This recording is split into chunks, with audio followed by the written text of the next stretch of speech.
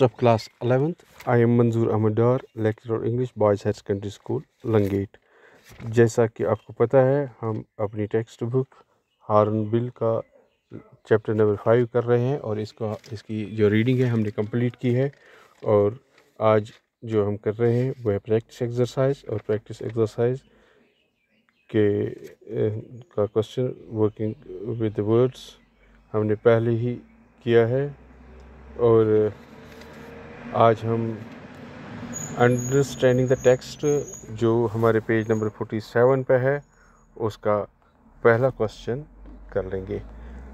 The ailing planet आपको पता है नानी पालकी वाला का लिखा हुआ आर्टिकल है, और ये नवंबर 1994 में पब्लिश हुआ था।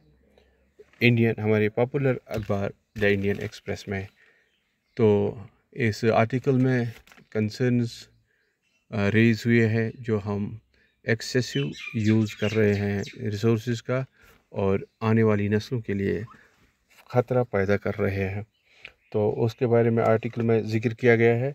अब जो क्वेश्चन है, जैसा कि आप देख रहे हैं कि understanding the text page number forty seven आप अब अपनी टेक्स्ट खोल लेंगे और देख लेंगे क्वेश्चन नंबर वन है locate the lines in the text that support the title the ailing planet आप जानते हैं द एलिंग प्लानट हमारी ज़मीन के बारे में इस पर इसका ज़िक्र किया गया है, जिस पे हम रहते हैं और बाकी स्पीशीज़ रहते हैं।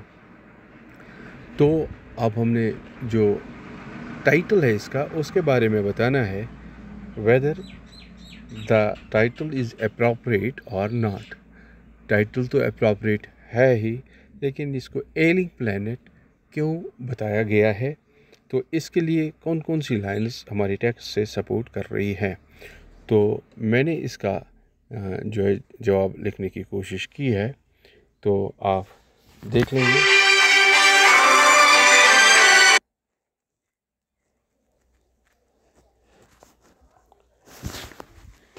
ये है क्वेश्चन है locate the lines in the text that support the title the ailing planet तो इस तरह से मैंने इंट्रोडक्शन दी है। The article published in the Indian Express on 24 November 1994 was written by Nani Palkhivala जैसा कि मैंने आपको बताया It raises concerns about the environmental degradation on Earth and caused by man. Uh, Palkiwala is optimistic that man has now understood that the planet Earth has a life and we are part of it. But we have left it ailing and following lines suggest the title the ailing planet is appropriate. तो इन lines का मैं जिक्र कर लूँगा The Earth's vital signs reveal a patient in declining health. ये आपके page number 44 line number one, paragraph number दो। Para number दो की लाइन नंबर वन है, page number 44 the earth vital signs reveal a patient in declining health ये support करती है ये लाइन द ईलिंग प्लानट के टाइटल को। और दूसरा है are we to leave our resource are we to leave our successors a scorched planet of advancing deserts, impoverished landscapes and ailing environments.